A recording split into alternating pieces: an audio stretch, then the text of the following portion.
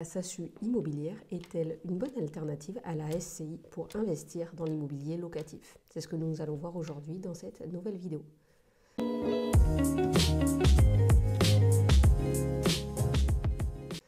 Bonjour et bienvenue sur la chaîne, je me présente, je m'appelle Célia Pétrisson, je suis expert comptable, je suis la fondatrice du cabinet PMC Expertise Comptable, un cabinet spécialisé dans l'accompagnement des investisseurs immobiliers, mais également des professions libérales et des restructurations d'entreprises. Aujourd'hui, dans cette nouvelle vidéo, on va parler d'une alternative souvent méconnue pour investir dans l'immobilier, une alternative à la SCI, la SASU immobilière. On va voir quels sont les avantages de cette structure, les inconvénients et quelles sont ensuite les étapes pour la constituer. que vous soyez aujourd'hui investisseur immobilier ou entrepreneur, ce sujet donc peut vous intéresser. Donc la, la SASU, qu'est-ce que c'est? Donc c'est une SAS unipersonnelle, donc c'est une SAS pour une personne seule, si on schématise les choses globalement. Donc c'est une société par action simplifiée avec une responsabilité donc limitée. Alors on va commencer donc par les avantages de cette structure. Donc cette structure euh, s'applique pour une personne qui est donc seule. C'est donc un avantage par rapport à la SCI euh, parce que dans toutes les sociétés civiles, vous avez besoin d'être deux associés au moins pour constituer la société. Dans le, dans le cadre de la SASU, pas de souci, vous pouvez être tout à fait seul et constituer votre activité. Donc ça peut représenter un intérêt si vous voulez réellement être totalement seul au sein de votre société dédiée à l'immobilier locatif. Donc à noter qu'il n'y a pas automatiquement de cotisation sociale pour le dirigeant, donc le président de la société, pas de cotisation sociale tant qu'il n'y a pas de rémunération versée au dirigeant. Si vous choisissez de vous verser de la rémunération en SAS, vous avez un statut d'assimilé salarié, donc avec des charges sociales assez élevées comme un salarié classique à peu près 80% de charges sociales.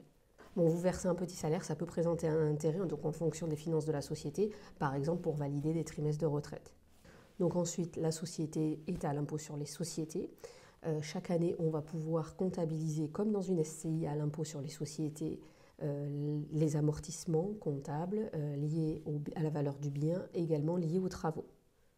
Donc d'un point de vue fiscal, on va relever de la même fiscalité qu'une euh, SCI à l'impôt sur les sociétés.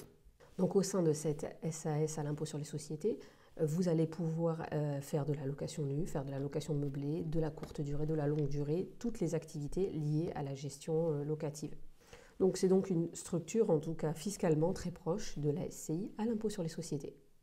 Donc un autre avantage également de la, SASU ou de la SAS euh, pour investir dans l'immobilier, c'est son aspect euh, commercial, c'est-à-dire que dans certains cas, euh, au niveau des banques, vous pouvez avoir des difficultés à vous faire financer en SCI à l'impôt sur les sociétés, puisque les banques continuent à vous appliquer la, la barrière, en tout cas l'endettement, à vous limiter au taux d'endettement à 35%. Au niveau, si vous investissez avec une SARL ou une SAS, vous n'aurez pas cette problématique parce que c'est vraiment une société qui est commerciale. Euh, donc parfois, ça peut vous libérer au niveau des solutions. En tout cas, ça vous permet de débloquer une solution au niveau d'un financement. Alors maintenant, au niveau des inconvénients donc, de la SAS pour investir dans l'immobilier locatif. Donc le premier inconvénient, déjà, ça va être au niveau du financement bancaire. Comme c'est une société donc euh, commerciale, au niveau des caractéristiques bancaires, vous allez rentrer plutôt dans la catégorie des prêts professionnels. Donc vous risquez très certainement à valider avec votre banque, mais d'avoir un taux d'intérêt supérieur à celui qu'on pourrait vous proposer en SCI et une durée de financement également plus courte euh, qu'un projet que l'on pourrait vous financer en SCI à l'impôt sur les sociétés. Ça, ça a relativisé parce que ça dépend vraiment de la politique euh, de chaque banque. Mais de manière générale, vous risquez d'avoir des conditions globalement un peu moins intéressantes qu'en SCI à l'impôt sur les sociétés. Au niveau des inconvénients, après, vous avez également la fiscalité sur les plus-values, la même chose qu'une SCI à l'impôt sur les sociétés en cas de revente du bien.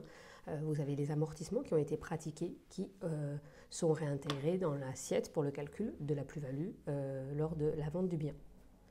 Donc sur un bien détenu à long terme, ça va avoir tendance à augmenter euh, le niveau de fiscalité lors de la vente d'un bien.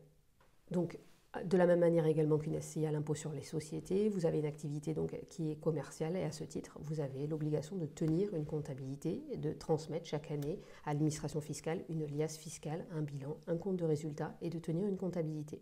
Donc vous avez les contraintes euh, classiques, comme toute société commerciale, de tenue et euh, de tenue de comptabilité. Vous avez également l'obligation chaque année de déposer les comptes de la société au greffe du tribunal de commerce. Alors maintenant, comment euh, créer votre euh, SASU euh, dans l'immobilier? Donc il y a plusieurs étapes. Vous avez donc bien sûr donc, des statuts à rédiger. Les statuts vont vous permettre de valider donc le montant du capital social, l'objet de la société, la date de clôture, etc. Toutes les informations liées à l'identité de la société. Vous devez déposer ensuite euh, le capital social euh, dans une banque. la banque va vous ouvrir un compte de société en formation. Vous allez recevoir une attestation. ensuite, vous allez publier l'annonce légale de création de la société. Euh, et avec l'attestation euh, de dépôt de capital social, vous allez pouvoir réaliser l'ensemble des formalités sur le site de l'INPI pour créer votre société. À l'issue de la phase de création de la société, vous allez recevoir donc le CABIS, qui est la carte d'identité de votre société. Donc un dernier point, aujourd'hui on parle des SASU ou de la SAS pour investir dans l'immobilier locatif. Donc euh, ça, il n'y a, pas de, difficulté. C'est également possible d'investir dans l'immobilier locatif avec une SARL ou une EURL. Si vous êtes seul, ça, ça pose pas de difficulté. Par contre, la contrainte complémentaire en SARL ou en EURL, c'est qu'attention, si vous êtes gérant majoritaire de votre société, donc si vous êtes associé unique et gérant de la société, vous serez gérant majoritaire. Dans ce cas-là, vous avez une obligation d'affiliation auprès du régime des indépendants. Donc au régime de la sécurité des indépendants, donc l'ex-RSI. Donc cette contrainte en complément euh, euh, vous ajoute un niveau de cotisation sociale à payer. Donc à minima, même si vous ne vous rémunérez pas, vous aurez environ 1200 euros par an de cotisation sociale à payer. Donc ça, c'est un élément à prendre en compte si vous souhaitez partir plutôt sur une ACRL. Donc c'est son inconvénient par rapport à la SAS qui, elle, ne présente pas de cotisation sociale minimale obligatoire. Pas de cotisation sociale dès lors que vous ne vous rémunérez pas euh, au titre de vos fonctions de direction sur la société.